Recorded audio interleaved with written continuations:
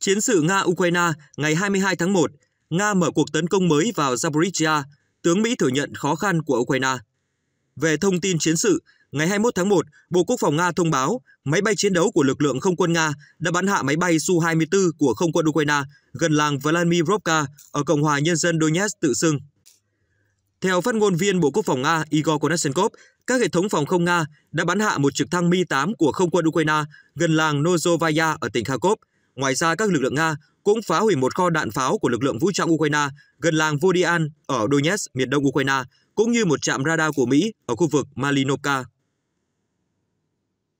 Ông Konashenkov cho hay các lực lượng vũ trang Nga cũng tấn công sở chỉ huy của tiểu đoàn số 36 thuộc lực lượng phòng vệ lãnh thổ Ukraine tại Donetsk. Không quân và pháo binh của quân khu phía Tây đã khai hỏa vào các đơn vị của Lữ đoàn phòng vệ lãnh thổ số 103 tại khu định cư Berestovoye, tỉnh Kharkov theo hướng Kupiansk. Hơn 35 quân nhân Ukraine đã bị loại bỏ, trong khi một số xe chiến đấu bọc thép và hai phương tiện đã bị phá hủy, ông Konashenkov nói thêm. Đại diện Bộ Quốc phòng Nga xác nhận các đơn vị tấn công với sự hỗ trợ hỏa lực từ quân khu phía Nam đã giành quyền kiểm soát làng Tvuchezhe tại Cộng hòa Nhân dân Donetsk tự xưng, khiến 50 quân nhân Ukraine bị tử thương. Theo hướng Donetsk, các đội xung kích tình nguyện với hỏa lực yểm trợ từ lực lượng tác chiến chiến thuật và không quân lục quân, lực lượng tên lửa và pháo binh của quân khu phía Nam đã kiểm soát khu định cư Dvuzhezhde của Cộng hòa Nhân dân Donetsk tự xưng. Ukraine có tới 50 quân nhân tử thương, 2 xe bọc thép chiến đấu, 3 xe bán tải và 2 khẩu pháo D-20, D-30 bị phá hủy. Trong khi đó, Bộ Tổng tham mưu các lực lượng vũ trang Ukraine cho biết, quân đội Nga đã tìm cách tiến hành các cuộc tấn công ở khu vực Avdiivka tại vùng Donetsk nhưng không thành công. Họ tiếp tục cố gắng tấn công theo hướng Bakhmut và Zaporizhia, tăng cường độ sử dụng máy bay, quân đội Ukraine xác nhận. Theo Bộ Tổng tham mưu Ukraine, các cuộc pháo kích xuyên biên giới của lực lượng Nga ở vùng Sumy và Kharkov, phía đông bắc cũng đã nổ ra. Phía Ukraine nói rằng chính quyền do Nga chỉ định ở Kherson đang thắt chặt kiểm soát việc đăng ký dân thường ở khu vực phía nam Ukraine. Nga mở cuộc tấn công mới vào Zaporizhia. Quân đội Nga ngày 21 tháng 1 cho biết đã thực hiện một cuộc tấn công mới vào khu vực Zaporizhia ở đông nam Ukraine. Moscow tuyên bố giành thêm nhiều vị trí và phòng tuyến có lợi cho cuộc tấn công này. Cùng ngày, ông Vladimir Rogov, chủ tịch tổ chức We Stand with Russia, hoạt động tại tỉnh Zaporizhia và được chính quyền Nga hỗ trợ, cho biết phòng tuyến đầu tiên của Ukraine tại nhiều khu vực ở Zaporizhia đã bị chọc thủng. Phía Nga đang nắm lợi thế chủ động dọc toàn chiến tuyến, giao tranh dữ dội đang xảy ra khắp nơi, ông Rogov nói. Tướng Mỹ nhận định Ukraine rất khó đẩy lùi Nga ra khỏi lãnh thổ trong năm nay. Chủ tịch Hội đồng Tham mưu trưởng Liên quân Mỹ Mark Milley cho rằng Ukraine sẽ phải nỗ lực rất nhiều để thực hiện cam kết đẩy lùi các lực lượng Nga ra khỏi lãnh thổ của đất nước này, trong khi các quan chức dân sự ở Washington nhấn mạnh rằng Kiev phải tiếp tục chiến đấu. Ông Milley đã nhiều lần đặt câu hỏi về cơ hội thành công của họ. Phát biểu trong cuộc họp của nhóm liên lạc quốc phòng do Mỹ dẫn đầu tại căn cứ không quân Ramstein ở Đức, ông Mark Milley nói, Tổng thống Biden, Tổng thống Zelensky và hầu hết các nhà lãnh đạo châu Âu đã nói rằng cuộc chiến này có khả năng kết thúc bằng một cuộc đàm phán. Xét về góc độ quân sự, đây là một cuộc chiến rất rất khó khăn. Bulgaria cảnh báo nguy cơ xung đột toàn cầu. Tổng thống Bulgaria Rumen Radev cho rằng viện trợ quân sự gửi tới Ukraine có thể gây ra một cuộc xung đột toàn cầu, đồng thời kêu gọi không gửi khí tài tới cho Kiev. Giá trị cuối cùng là hòa bình và cuộc sống con người. Cung cấp khí tài cho Kiev có nghĩa là chúng ta đang dập lửa bằng xăng và đồng nghĩa với việc thừa nhận sẽ có thêm nhiều tổn thất về người. Theo Tổng thống Bulgaria, hỗ trợ quân sự cho Ukraine, ngụ ý chấp nhận lập trường rằng cuộc xung đột phải được tiếp tục cho tới khi một trong các bên bị đánh bại hoàn toàn và điều này chắc chắn sẽ lôi kéo Ukraine vào một cuộc xung đột toàn cầu và có nguy cơ tự hủy hạt nhân. Các nước vùng Baltic kêu gọi Đức lập tức cung cấp xe tăng cho Kiev – Ngoại trưởng Latvia Edgar Rinkevich ngày 21 tháng 1 thay mặt cho các ngoại trưởng Litva và Estonia kêu gọi Đức cung cấp xe tăng Leopard cho Ukraine ngay bây giờ. Điều này cần thiết cho việc ngăn chặn Nga, giúp Ukraine và khôi phục hòa bình ở châu Âu một cách nhanh chóng. Đức với tư cách là cường quốc hàng đầu châu Âu có trách nhiệm đặc biệt trong vấn đề này, ông Rinkevich cho hay. Ngoài ra, ngày 20 tháng 1, các bộ trưởng quốc phòng từ khoảng 50 quốc gia đã gặp nhau tại căn cứ không quân Ramstein ở Đức để thảo luận về việc hỗ trợ thêm cho Ukraine. Nga tổ chức huấn luyện đẩy lùi cuộc không kích ở tỉnh Moscow, Bộ Quốc phòng Nga ngày 21 tháng 1 cho hay đã tổ chức một cuộc huấn luyện đẩy lùi các cuộc không kích ở tỉnh Moscow. Tại tỉnh Moscow, một cuộc huấn luyện đã được tổ chức với sự tham gia của các thành viên trong lữ đoàn tên lửa phòng không thuộc quân khu miền Tây. Về việc đẩy lùi cuộc tấn công đường không nhắm vào các cơ sở hành chính và công nghiệp quân sự quan trọng, Bộ Quốc phòng Nga cho biết.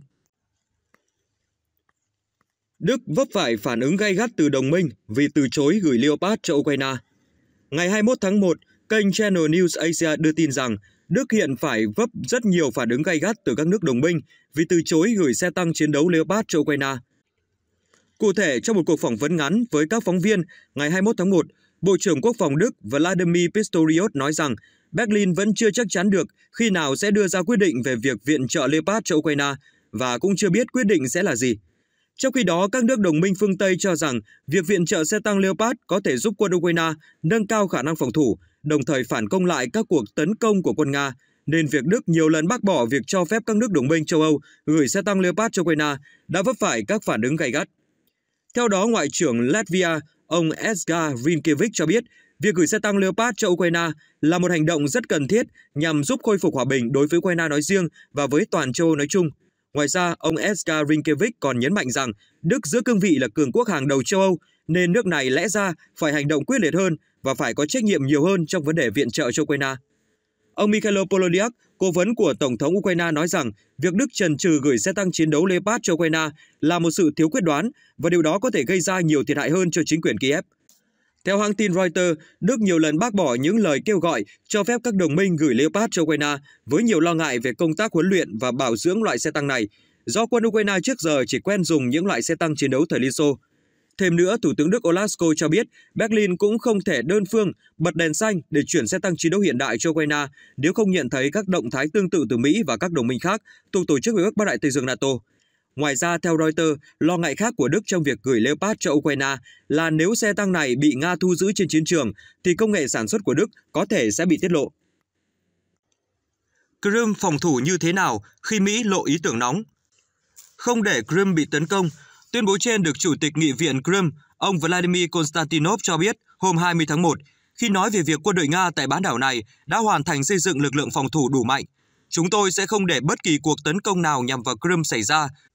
Lực lượng tinh nhuệ cùng với khí tài tối tân đã sẵn sàng đủ sức thực hiện những nhiệm vụ khẩn cấp khi cần. Người dân tại đây tin tưởng vào quân đội Nga, vào hạm đội Biển Đen và những khí tài Moscow đang triển khai tại đây.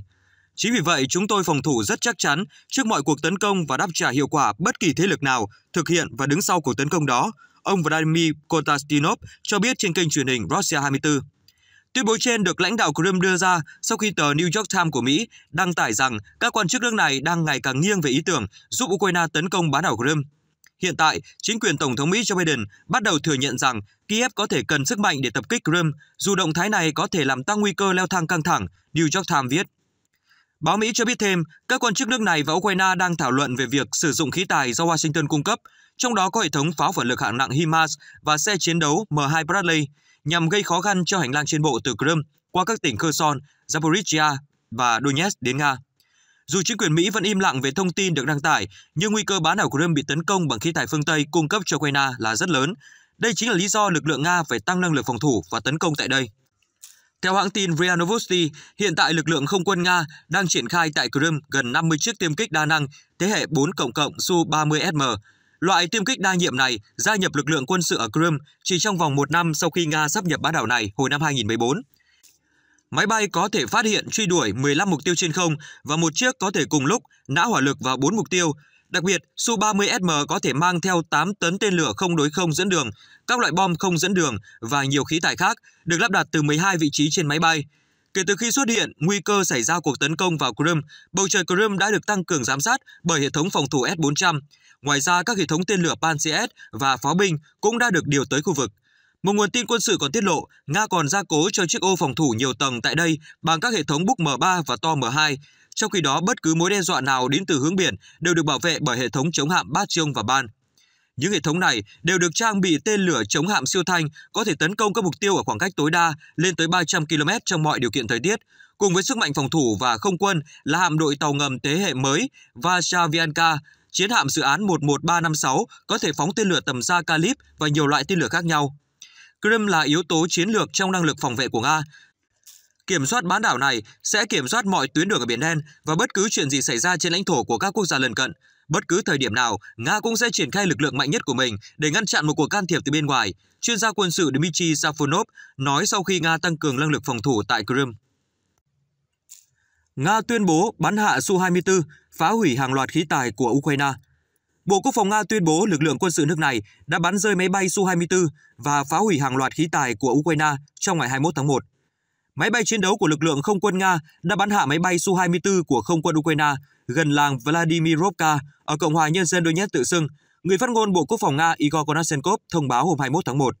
Ông Konashenkov cho biết các hệ thống phòng không Nga đã bắn hạ một trực thăng Mi-8 của không quân Ukraine gần làng Lozovaya ở tỉnh Kharkov.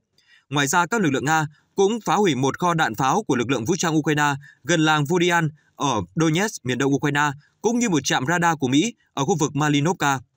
Theo ông Konashenkov, các lực lượng vũ trang Nga cũng tấn công sở chỉ huy của tiểu đoàn số 36 thuộc lực lượng phòng vệ lãnh thổ Ukraine tại Donetsk.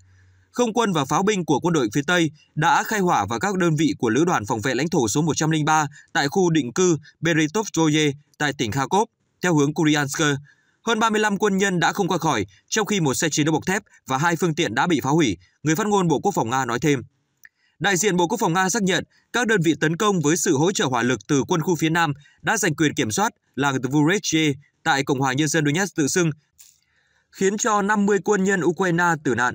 Theo hướng Donetsk, các đội xung kích tình nguyện với hỏa lực yểm trợ từ lực lượng tác chiến chiến thuật và không quân lục quân, lực lượng tên lửa và pháo binh của quân khu phía Nam đã kiểm soát khu định cư từ Vuchesne của Cộng hòa Nhân dân Donetsk tự xưng.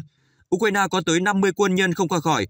hai xe bọc thép chiến đấu, ba xe bán tải và hai khẩu pháo D-20, D-30 bị phá hủy, ông Konashenkov nói. Cùng ngày, Bộ Tổng tham mưu các lực lượng vũ trang Ukraine cho biết quân đội Nga đã tìm cách tiến hành cuộc tấn công tại khu vực Mariivka tại vùng Donetsk nhưng không thành công.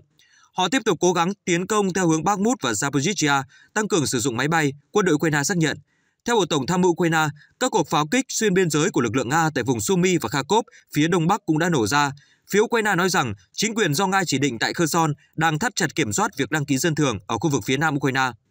Các cuộc giao tranh khốc liệt nhất đang diễn ra ở mặt trận phía đông Ukraine. Bộ Quốc phòng Nga hôm 13 tháng 1 tuyên bố quân đội nước này đã hoàn toàn kiểm soát thành phố Soleda ở miền đông Ukraine. Tuy nhiên, giới chức Ukraine đã lên tiếng bác bỏ, khẳng định tiếp tục giao tranh đến cùng. Tổng thống Ukraine Volodymyr Zelensky thừa nhận tình hình ở Soleda rất khó khăn và thành phố này là một trong những mặt trận đẫm máu nhất hiện nay. Tuy nhiên, ông khẳng định quân đội Ukraine sẽ tiếp tục bám trụ. Nếu Nga thực sự giành được Soleda thì đây sẽ là chiến thắng đầu tiên của quân đội Nga sau khi phải rút khỏi Kherson và Kharkov. Từ Soleda, Nga có thể tăng cường tấn công vào Bakhmut, một thành phố chiến lược khác, mở đường cho việc kiểm soát hoàn toàn vùng Donbass ở miền đông Ukraine. Mỹ nhắm mục tiêu vào lực lượng Wagner của Nga. Bộ Tài chính Mỹ đã liệt tổ chức lính đánh thuê Wagner của Nga là tổ chức tội phạm xuyên quốc gia. Đài CNN ngày 20 tháng 1 dẫn lời Nhà Trắng cho biết, Bộ Tài chính Mỹ sẽ áp đặt các biện pháp trừng phạt bổ sung đối với tổ chức lính đánh thuê Wagner của Nga trong tuần tới, cũng như mạng lưới hỗ trợ họ trên toàn thế giới. Điều phối viên Hội đồng An ninh Quốc gia Mỹ John Kirby nói với các phóng viên ngày 20 tháng 1, động thái trên cho thấy mối đe dọa xuyên lục địa mà Wagner gây ra bao gồm thông qua mô hình hoạt động tội phạm nghiêm trọng đang diễn ra. Bên cạnh các biện pháp trừng phạt bổ sung mới, Mỹ còn công bố một số bức ảnh vừa giải mật về các chuyến xe lửa của Nga đi từ Nga tới Triều Tiên và quay trở lại vào tháng 11 năm ngoái. Washington tin rằng đó là lần đầu tiên Moscow chuyển giao hệ thống tên lửa và rocket cho tổ chức lính đánh thuê Wagner sử dụng tại Ukraine. Theo ông Kirby, có khoảng 50.000 nhân viên của Wagner đang được triển khai tới Ukraine, bao gồm 10.000 người làm việc theo hợp đồng và 40.000 tù nhân. Người đứng đầu tổ chức Wagner, Yevgeny Prigozhin trước đó được cho là yêu cầu Nga cung cấp thêm thiết bị, mở rộng quyền hạn và quyền tự quyết định của họ để thực hiện các hoạt động tại Ukraine.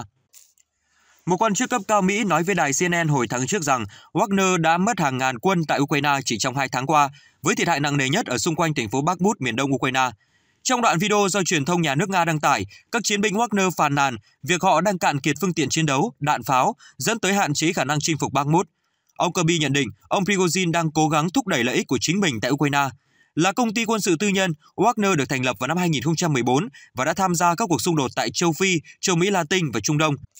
Được biết tới với biệt danh đầu bếp của ông Putin vì từng phục vụ trong các sự kiện cho nhà lãnh đạo Nga kể từ khi cả hai ông còn ở Saint Petersburg những năm 1990. Ông Prigozhin 61 tuổi, lọt vào tầm ngắm của Mỹ trong nhiều năm. Tháng 2 năm 2018, ông Prigozhin bị Bộ Tư pháp Mỹ truy tố về tội can thiệp bầu cử Tổng thống Mỹ.